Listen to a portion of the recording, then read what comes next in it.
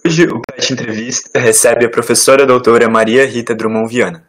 Maria Rita é professora do Departamento de Língua e Literatura Estrangeiras da Universidade Federal de Santa Catarina e membro permanente dos programas de pós-graduação em inglês e estudos da tradução. Realizou pós-doutorado na Universidade de Toronto, no Canadá, com pesquisa sobre as cartas de Virginia Woolf. Possui doutorado pela Universidade de São Paulo, com o período sanduíche na Universidade de Oxford, no Wolfson College, com tese sobre a correspondência eh, do escritor irlandês W.B. Yeats. Possui mestrado em literatura de língua inglesa pelo programa de pós-graduação em estudos literários da Universidade Federal de Minas Gerais, onde também se graduou em letras inglês. Tem experiência na área de literatura, com ênfase nas literaturas em língua inglesa. Na UFSC, coordena o grupo de estudos em literatura Outras, que se debruça sobre a questão dos gêneros literários não ficcionais, e é coordenadora do Núcleo de Estudos Irlandeses, que tem uma abordagem multidisciplinar para o estudo das culturais irlandesas e de suas diásporas. Professora, muito obrigado por ter aceitado participar do PET Entrevista, que tem como objetivo conhecer melhor os professores e as professoras do curso de Letras da UFSC e os apresentá-los à comunidade acadêmica. Passo a palavra para a Luciana agora.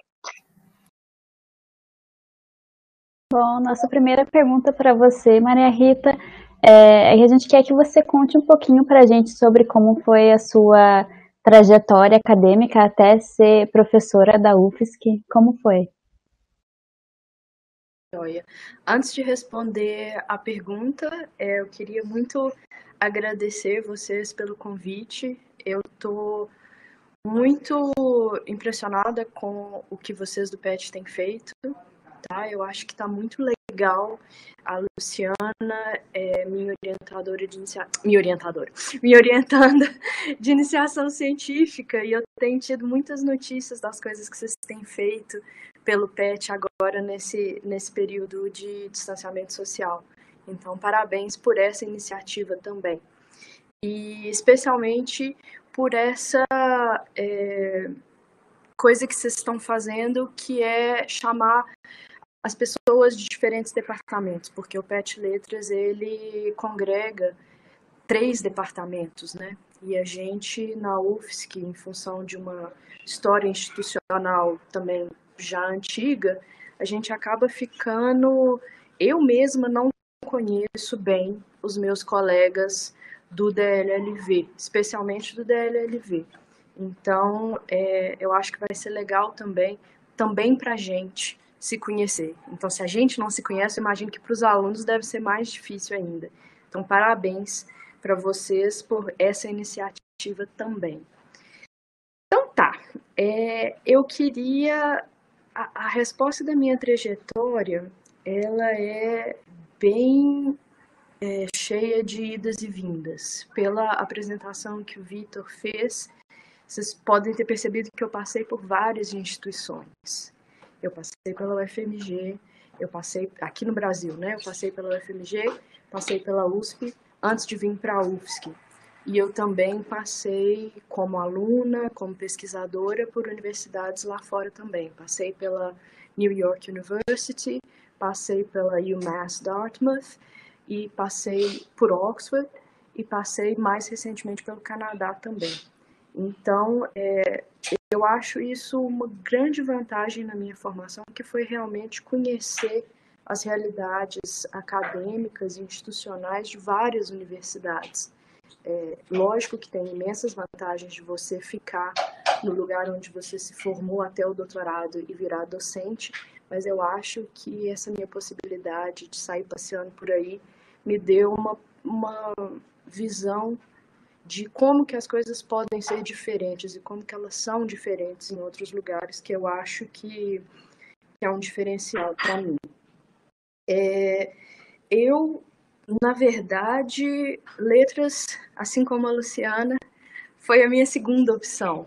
Eu cheguei a, a cursar um outro curso, eu fiz um ano de Relações Internacionais e, na verdade, o meu vestibular que eu prestei é, na UFMG tinha sido biologia.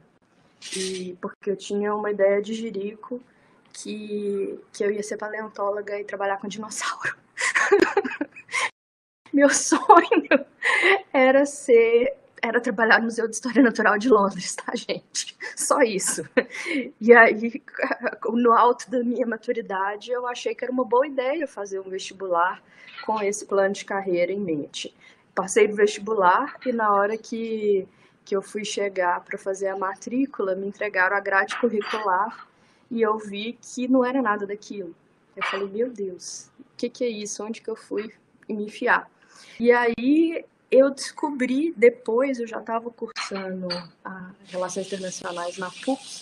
Ah, é, esqueci de falar, né? Eu também fiz um ano de PUC, então eu também conheço um tiquitinho de, de universidade é, particular. E quando eu estava cursando, eu descobri, junto com, com um amigo meu, que tinha um curso que, que era de ler. Era um curso inteiro de ler livro. Eu falei, uai, gente, por que, que eu não pensei nisso antes? Eu gosto tanto disso. Eu gosto tanto de ler. Dá, dá, dá pra fazer isso pro resto da vida? Ler livro e falar de livro? E, assim, não foi bem assim só. Eu já estava dando aula na cultura inglesa de Belo Horizonte. Eu comecei a dar aula lá, acho que assim que eu fiz 18 anos, eu comecei a dar aula lá, eu tinha sido aluna e depois de, de fazer o proficiency, eu meio que fiquei sem ter muitos cursos para fazer e aí eu fiz um curso de, de formação de professores e descobri que eu gostava. Quando eu terminei, acho que até antes de eu terminar, eles me chamaram que eu queria dar aula lá. Então eu já estava envolvida com, com ensino de língua. E e aí eu pensei, bom, já estou fazendo isso, é uma coisa que eu gosto, e fazer um curso inteiro de, de, de, ler livro deve ser muito melhor do que ficar estudando microeconomia, que eu confesso que era uma cruz. Não é uma disciplina que eu tive assim, um prazer de fazer. Sociologia foi ótimo, história da filosofia foi ótimo, toda essa coisa do, do ciclo básico né, de, de ciências humanas me deu uma base que eu uso até hoje mas a parte de microeconomia, que as curvinhas ficavam. Hum, não, obrigada. Então, é, cheguei nessa, nessa carreira um pouco, um pouco por esse jeito, assim. Não, não, não era uma coisa que eu conhecia tanto. Na verdade, depois meu pai me lembrou é, que quando eu era bem mais nova, eu falava que eu ia fazer jornalismo para poder ganhar dinheiro, mas que eu queria mesmo era ser escritora. Eu nem lembrava que eu tinha falado isso, mas aparentemente eu falei isso. Mas o curso de letras em si não tinha me ocorrido ainda. Então, é, foi um pouco, foi um pouco também por, por um certo acaso, assim. Mas ao mesmo tempo, depois que aconteceu, ficou bem óbvio que era isso mesmo. Tanto que uma vizinha da minha mãe, uma vizinha antiga da minha mãe, quando ela contou que eu ia fazer letras, essa amiga virou para minha mãe e falou: ah, bem feito, quem mandou ficar dando livro para ela quando ela era criança? Então, teve mais essa também, porque minha família, é, eles são médicos, meu pai, minha mãe, meu padrasto, minha madrasta, meio que todo mundo é médico e foi uma certa decepção para minha mãe eu não ter querido fazer medicina. E aí a, a, foi em resposta a isso que a, que a vizinha falou, bem feito, quem mandou ficar comprando livro para ela. Mas é mais ou menos isso que foi é, que foi o meu como que eu caí nas letras, porque na verdade eu nunca deixei de ser das letras, eu só não sabia que dava para fazer isso profissão. Muito legal, professora, teu relato é muito interessante, porque acho que acaba muita gente, inclusive eu e a Lu, possivelmente, acabamos nos identificando com várias partes da tua fala. é, então, seguindo para a próxima questão, a gente quer saber um pouquinho quais são as atividades de extensão e de administração que tu já desenvolveu e que tu tem desenvolvido na UFSC. Tá. É, isso, na verdade, é uma, é uma ótima pergunta que vocês fizeram, porque aquela história do. Eu acho que a gente precisa de deixar mais claro, não só para alunos, mas para a sociedade como um todo, que o papel do, do docente no ensino superior não é só dar aula. Então a gente teve aquele caso lamentável, né, que, que, que foi veiculado no jornal é, da televisão aqui em Santa Catarina, quando começou a, quando houve a suspensão das aulas na UFSC, aquela, aquele, eu esqueci o que, que ele é, se ele é jornalista também ou se ele é, é legislador, esqueci agora, mas depois, é, depois a gente pode olhar direitinho a referência, mas que disse que a gente estaria parado durante esse período porque não, como não estava havendo aula, a gente estaria recebendo salário parado. E não, o, o, professor faz muito mais do que dar aula, né? E eu acho que é sempre importante a gente ressaltar isso. Então, é, eu tenho, como, cê, como é, Vitor, você falou na, na, apresentação, eu coordeno dois grupos de pesquisa e grupo de estudos, né? Eu tenho o, eu sou coordenadora do Núcleo de Estudos Irlandeses e no Núcleo de Estudos Irlandeses, juntamente com a Aline, que também é professora do DLLE, e com a Beatriz, que é professora da PGI, a gente desenvolve atividades o ano inteiro, atividades de, de leitura, a gente faz uma programação de leituras e discussões com aberta a todo mundo que quiser ir, fica aí o convite também. A gente tem gente do, do da graduação, da pós-graduação, gente que está, inclusive, cuja te, as teses e as dissertações são, são de outras áreas, mas que, mas que tem um interesse de, de ler, de discutir. Esse ano a gente está discutindo a questão da tecnologia. E além desses encontros mensais durante o, o período letivo, a gente também faz é, eventos. Então, Anualmente a gente tem feito, a gente esse ano vai ser já a quinta, eu acho, edição da nossa jornada de estudos irlandeses, que sempre, para mim, é um dos pontos altos do, do, do ano letivo. A gente sempre consegue trazer bastante bastante gente de outros lugares, de, de fora do Brasil, da Irlanda, da Inglaterra, é, de, do, do, país de Gales, dos Estados Unidos, já veio gente de vários lugares para poder apresentar a palestra. E uma outra coisa que a gente tem feito também, que distingue essa nossa jornada de, de outros congressos acadêmicos, é que a gente sempre traz como convidado é, alguém que seja da indústria criativa. Então, a gente já teve dois diretores de cinema que vieram para poder falar sobre os filmes. Já tivemos dramaturgos, já tivemos escritoras, já tivemos é, dramaturgo, dramaturgo, é, um dramaturgo e é, uma dramaturga. E no, na última edição, gente, na penúltima edição, a gente teve uma escritora também que lançou agora um livro que está maravilhoso, ganhando vários prêmios. E no, na apresentação dela, durante o, o evento, ela leu um poema que, é, que foi muito emocionante a hora que ela leu para gente. O poema ainda não tinha sido nem publicado. E eu, a gente teve o prazer de circular o poema durante uma das sessões de, de, do grupo de estudos e depois na, no evento mesmo ela leu em voz alta para gente. Então isso é uma coisa que a gente tem feito sempre, tentar fazer esse diálogo não só com a academia, não só trazer professores e pesquisadores, mas também as pessoas da indústria criativa. E realmente a gente acaba tendo menos contato.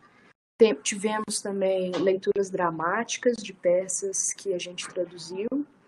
Tivemos, inclusive, uma montagem, que foi uma montagem completa de uma peça, que foi As Duas Mortes de Roger Casement, do Domingo Nunes, né? A companhia veio lá de São Paulo, vieram todos, atores, veio, veio o cenário, veio o pessoal que toca piano, veio todo mundo os músicos, porque é, é, ele é, um, é, é, uma peça que tem um componente musical importante, e a gente conseguiu montar, lógico que foi numa escala bem menorzinha, ali no, no teatro da UFSC, é, para todo mundo. Inclusive a peça, uma versão traduzida para o inglês da peça, acaba de ser publicada pela Bloomsbury.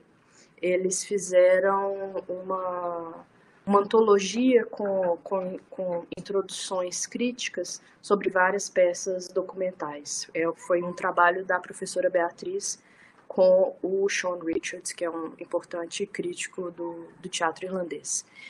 É, de administração, eu.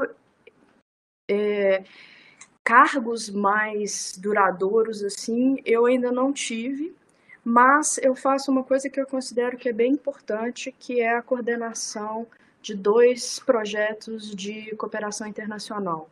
Então, eu sou a pessoa responsável por um projeto de cooperação entre a UFSC e a University College Dublin.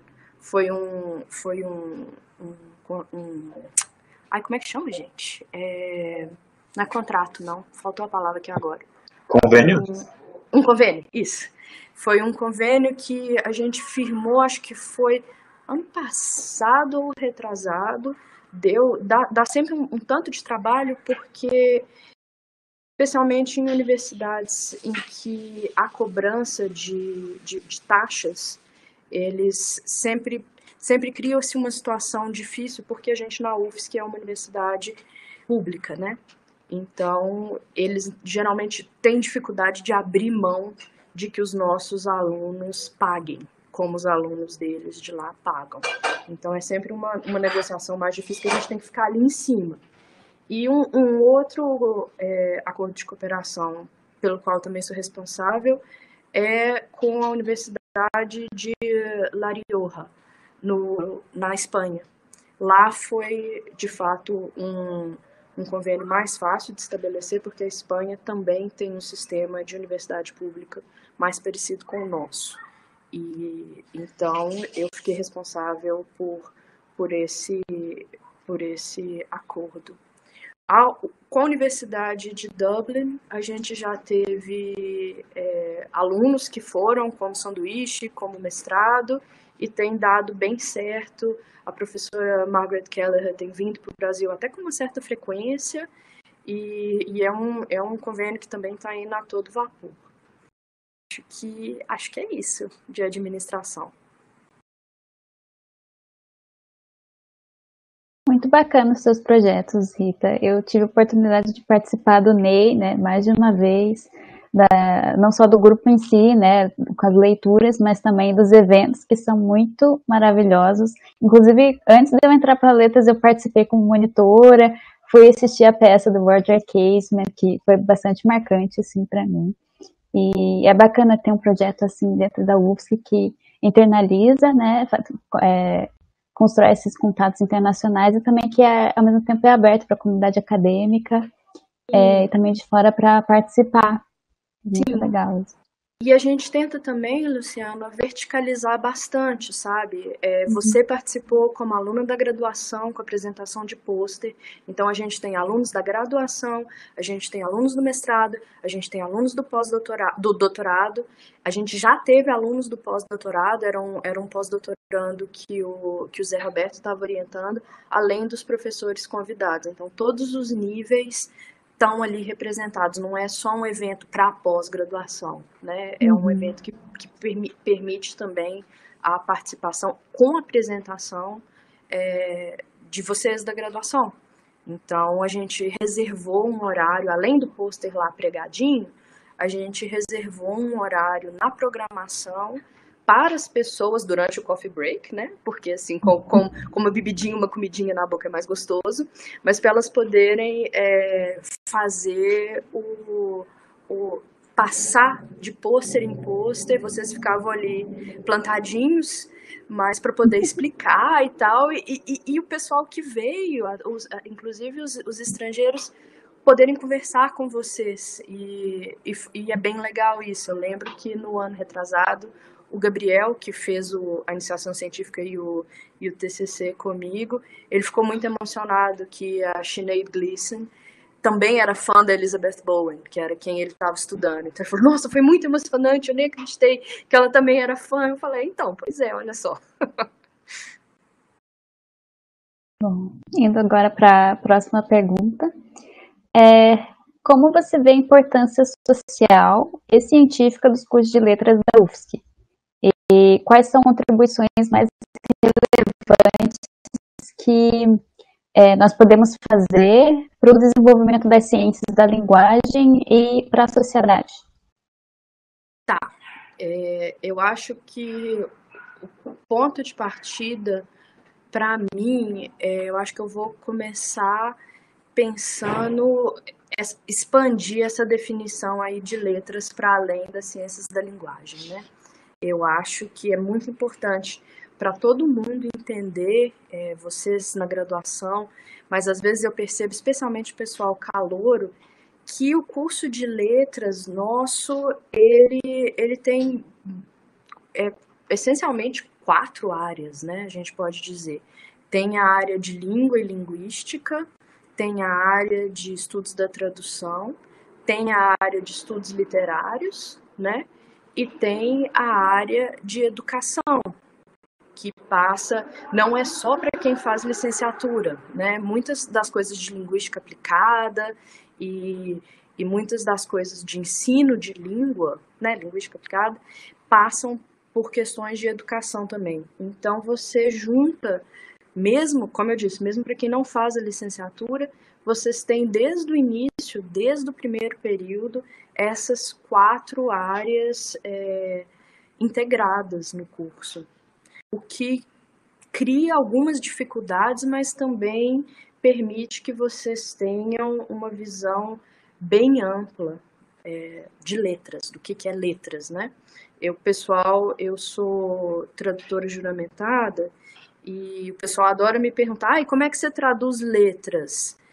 É, aí, principalmente assim, para preencher formulário para candidatura a, a, bolsas e eu já ajudei muito pessoal que foi é, tentar aquela bolsa da Fulbright de FLTA, porque eu fui a primeira, eu fui da primeira turma de FLTA quando a Fulbright abriu esse programa para o Brasil, é um programa antigo, mas a primeira vez que eles fizeram com brasileiros, eu fui da, da primeira turma que foi. E, e aí eu sempre pergunto, olha, é, a gente pode ressaltar qualquer uma dessas três áreas. Não existe uma tradução é, só. Você pode falar, porque o English geralmente é literatura inglesa, literaturas em inglês. Quando você tem I'm an English major ou I have an English, an English degree, ou então na Inglaterra eles falam I'm reading English, que eu acho bem antipático, porque eu espero que você esteja mais do que só lendo.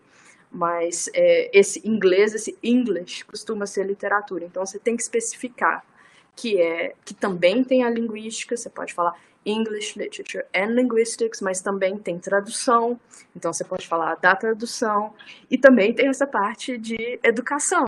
Então, o nome vai só, se você quiser especificar tudo, vai só crescendo, né? É, no francês fica mais fácil, porque lá eles têm é, a coisa de lettre, né? Que, que, é, que é exatamente de onde veio pra gente, né? A, a, muito da, da, de como a universidade no Brasil foi pensada, especialmente via formação da USP, foi por essa tradição, tradição francesa. Mas quais que são as colaborações, né? Qual que é o que que o que que o estudo de letras, então entendido como parte dessas quatro áreas, traz para é, para a sociedade? Eu acho que é o principal da pergunta, não é? Eu, eu disparei, abri o falador e, e perdi o central da pergunta, mas acho que é isso. Eu acho que as contribuições são tantas e, e tem a ver, algumas têm a ver com cada uma dessas áreas menores dentro da letras, mas eu acho que a principal é. Eu, eu falei mal dos ingleses falando que I'm reading English, mas na verdade o principal é isso mesmo, é aprender a ler. Ler direito, ler com atenção, ler e interpretar, ler com discernimento o que está acontecendo e ser capaz de interpretar a ironia, ser capaz de, de entender contexto. É, eu acho que essa é uma contribuição muito importante que a gente traz para a sociedade. Essa atenção ao texto, seja esse texto escrito, falado, é, pode ser texto multimodal, pode ser o que for, mas essa ideia do, da interpretação do texto, eu acho que é a maior contribuição. Certo, professora. É, passando para a próxima questão. É, a gente queria saber um pouco quais são os seus principais interesses e projetos de pesquisa atualmente. Isso pode relatar um pouco para a gente sobre eles, como eles funcionam, quais temas que eles abordam. Ficou um pouquinho, ficou um pouquinho picado. Victor, Cortou? Repete, por favor. Aham, sim. É, sobre quais são os seus principais interesses e projetos de pesquisa atualmente, e você pode falar um pouco deles para a gente. É, o meu principal projeto de pesquisa é, o, é justamente essas, esses gêneros literários não ficcionais e híbridos, né? O que, que eu quero dizer com isso? É o estudo de autobiografias, e aí a gente tem um, uma, uma coisinha, acadêmico adora parêntese, barrinha, então é o auto barrinha biografia, porque pode ser autobiografia ou biografia, porque as duas coisas não são tão separadas como a gente tende a pensar.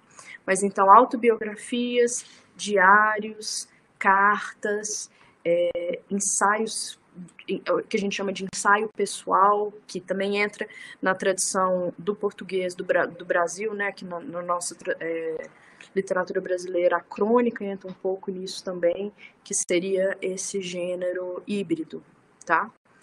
Então, esse é o meu principal projeto de pesquisa, é poder estudar esses textos, eu leio eles de um ponto de vista teórico, o que que significa essa por que, que essa existe essa classificação de não ficcional né? Então, essa relação com o referente, essa relação com o real, ela é importante para mim.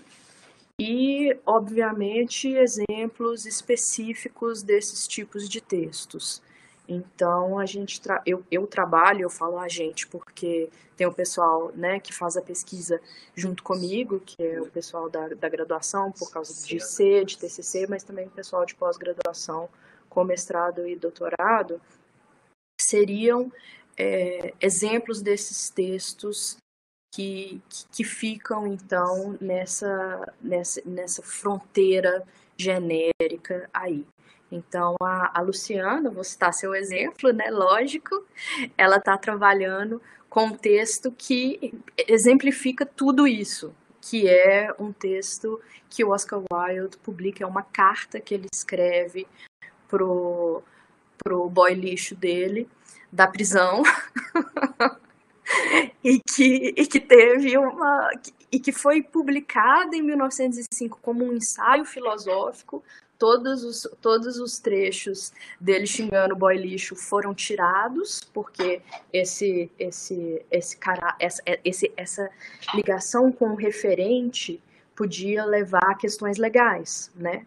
Então ele, ele dava exemplos e contava histórias de coisas que não poderiam ainda virar público. Então isso daí sai do texto e ele é publicado como um ensaio filosófico.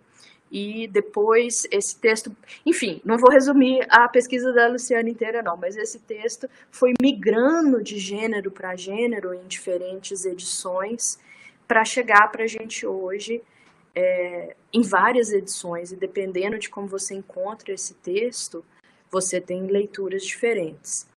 Eu trabalho, por causa do meu trabalho com o Ney, eu dou, eu acabo privilegiando textos de autores e autoras irlandesas, tá? Como é o caso do Wilde, é, quando a Sinead veio também, mas eu trabalho com, com outros, é, e principalmente outras autoras que escrevam especialmente em inglês também. Isso me dá uma, uma possibilidade, uma amplitude cronológica grande, porque como eu fechei na questão do gênero, eu não preciso tanto fechar na questão cronológica, embora eu tenda a me concentrar, especialmente na virada do século XIX para o XX, até a Segunda Guerra, a maioria das, das autoras e dos autores que eu estudo tão, que eu estudo estão nesse, nesse intervalo, eu também posso, como agora eu estou orientando um, um, aluno de mestrado, eu sugeri para ele trabalhar com uma autora medieval. Então, seria a primeira autobiografia escrita em língua inglesa por essa, por essa autora que é medieval. Então, ele está trabalhando com, com Middle English, né, da Marjorie of Camp, que escreve essa, essa autobiografia em terceira pessoa, então tem, já, tem, já tem uma complicação aí, se a gente for pensar no Legene, aquela coisa do parto autobiográfico, ela, ela escreve, ou na verdade ela, a gente pensa que ela dita essa, essa autobiografia e ela é escrita em terceira pessoa. Então, é, é principalmente isso.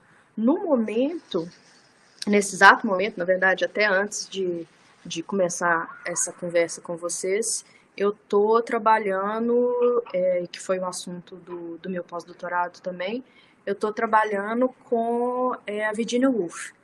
E eu estou escrevendo um capítulo que é sobre Mrs. Dalloway e também um ensaio que, que a Virginia Woolf escreve que é sobre estar doente. Então eu estou pensando a Virginia Woolf nesse contexto da, da pandemia especialmente da pandemia de 1918, que é aquilo que a gente conhece como a gripe espanhola. Então, eu estou pensando se a gente tem alguma coisa para aprender com a Virginia Woolf, e é lógico que tem.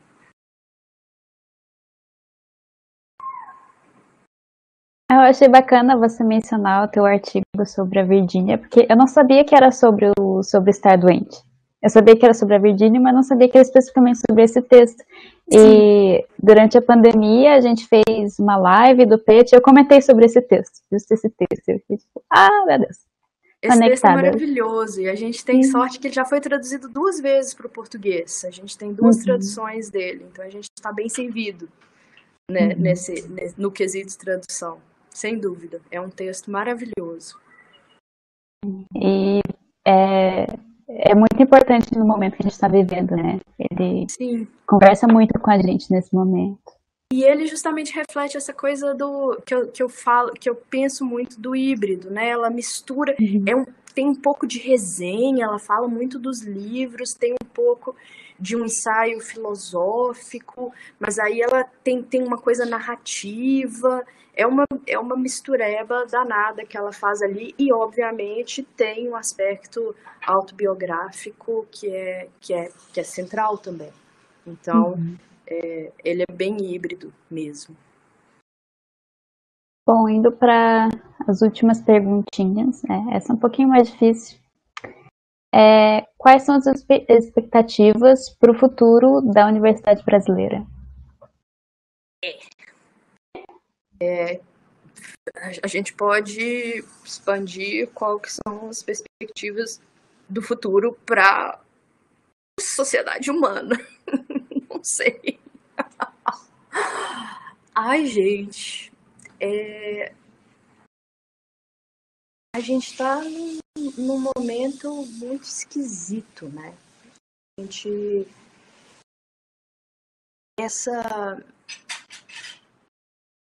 Eu acho que essa pandemia ela acabou deixando muito claro para gente as desigualdades que a gente vive e que às vezes por nossos vários privilégios, a gente às vezes não, não se dava conta num nível tão global e mesmo no nível local de ver as coisas, de ver como que as coisas são para os outros.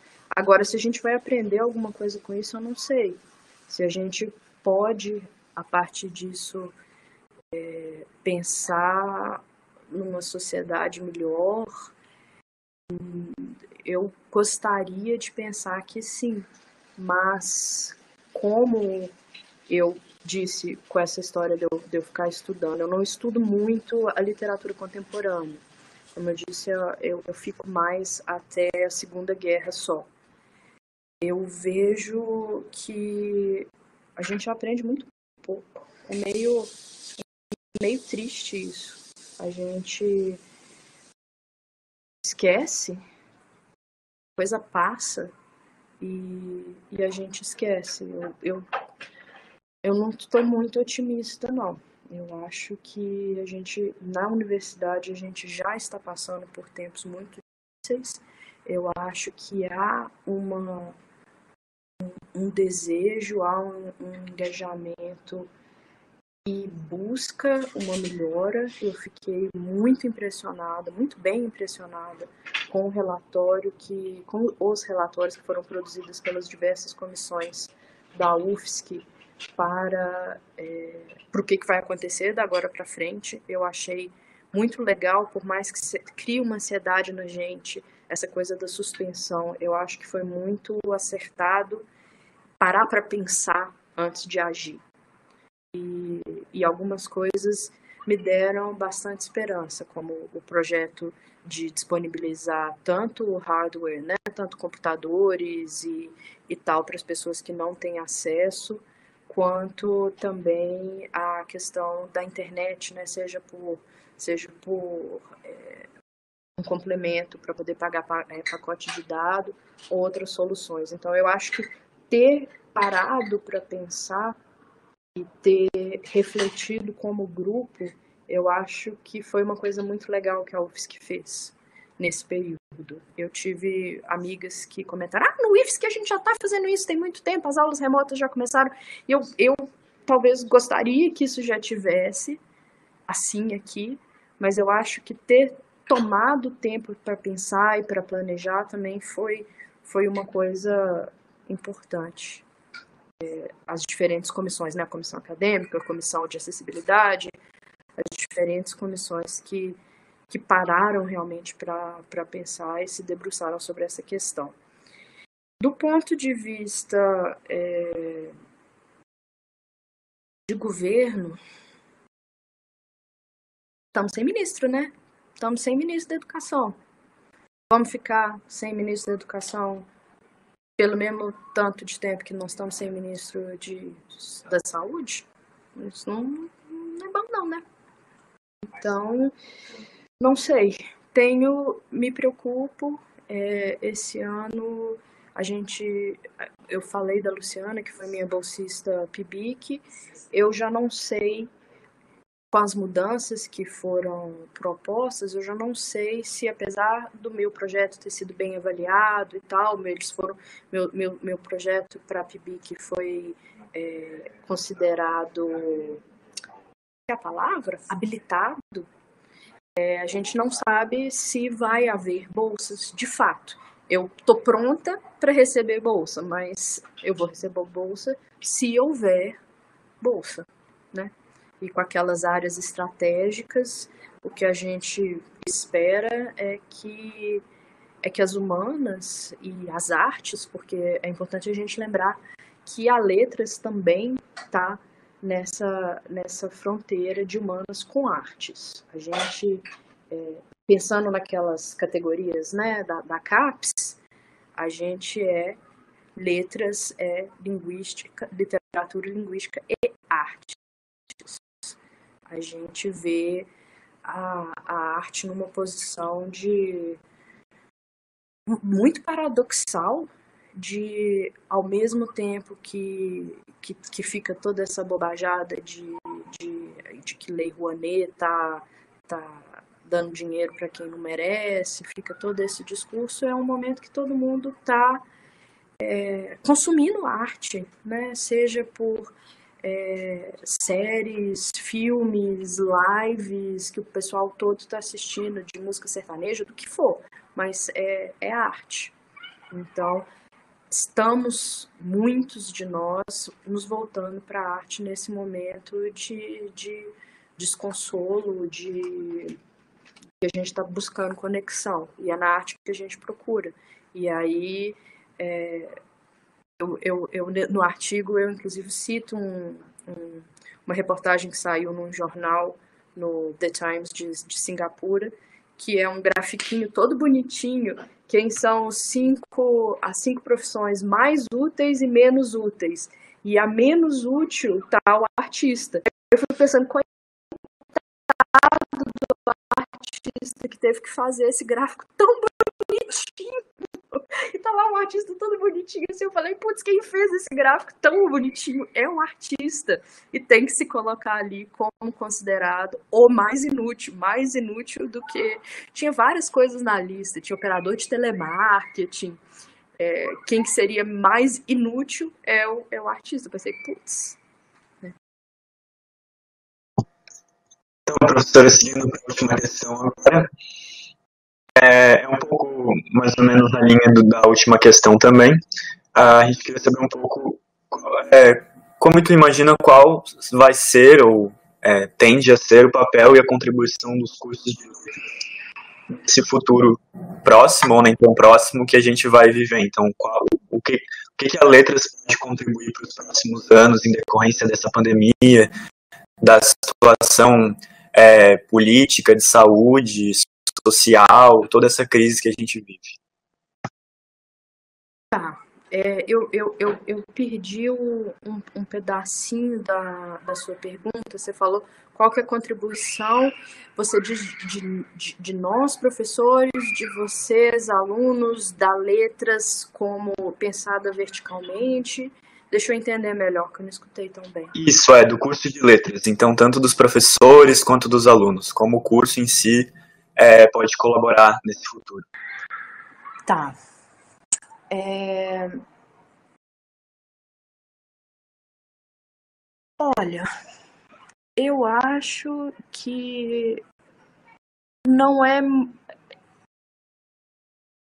não é muito eu acho que esses tempos eles acabam só talvez aumentando a nossa a, nossa vontade de tentar fazer mais, eu acho. É uma coisa que tem surgido, a, a Luciana sabe, nas nossas reuniões de orientação em grupo com, com todos os orientantes e orientandas, é esse essa sensação de que a gente precisa de, de um contato maior para fora dos muros, tá? Eu acho que isso está ficando mais claro. A gente vê muito, eu acho que muito da situação que a gente está vivendo hoje, especialmente do ponto de vista político, deixando de lado um pouco a, a questão da crise sanitária e crise de saúde, eu acho que do ponto de vista político, a gente passa por um tem passado por uma desvalorização muito grande da ciência, a gente tem passado por uma desvalorização muito grande da universidade como um local de produção de ciência. Então eu vou, eu vou pensar não só da letras, mas é, da universidade como um todo. Esse papel que, que a gente precisa, essas a gente precisa de conseguir, eu acho, voltar a, a conseguir conversar com é, pessoas que, por várias razões que, que escapam, não, não vou pensar não vou pensar em termos de culpa de quem que é nem nada disso, mas que que perderam essa, essa referência da universidade como um local de produção de conhecimento. E, e, é lógico que isso acaba transbordando na questão da, da pandemia também, né? A gente vê, é, eu falei que, que minha mãe é médica, ela, tá, ela participa de um, de um grupo de zap zap, perigo, do, dos, dos colegas formandos dela, e, e a gente vê é, algumas posturas que, mesmo entre médicos, a gente vê nas, nas determinações dos CRMs e tal, que escapam ao que a gente entende que é uma lógica científica. Então, é, as pessoas estão perdendo de vista algumas coisas que a gente vê como organizadoras do, do, do, dos princípios do conhecimento. Mais especificamente, para letras, eu vou retornar àquela questão que eu falei, que é a leitura, mas uma leitura bem contextualizada, não é a leitura ali do absolutamente denotativo. Eu acho que o, o sucesso das, das fake news, o, por que, que elas se mostraram tão eficazes, é porque as pessoas não leem o arredor da notícia. Eles não leem contexto, eles não leem fonte. É, você não pensa não pensa nesse contexto maior, que é o que a gente faz na letras, né? Seja na, nas, nas, diversas áreas. Na área da tradução, a gente pensa além da palavra. Na, na, na, na literatura, a gente obviamente pensa ao redor de toda uma cultura, né? que é a cultura que produziu aquele texto, além, obviamente, só é, da autora.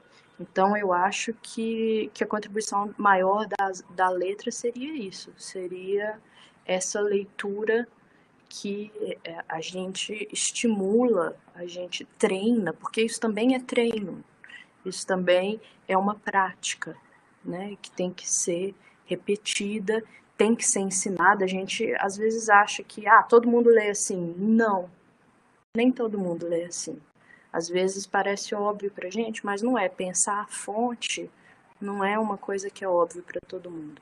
Então eu acho que um pouco é isso, é é ensinar a ler como a gente lê e, e como outras formas de, de se ler ao redor do que está só ali na, na, na, mensagem que chegou para você. Isso.